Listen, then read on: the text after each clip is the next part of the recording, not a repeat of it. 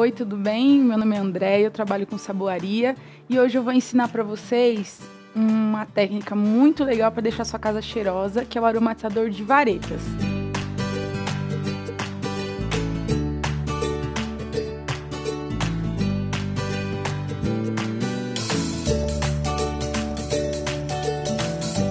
Espero que vocês tenham gostado. Até a próxima aula.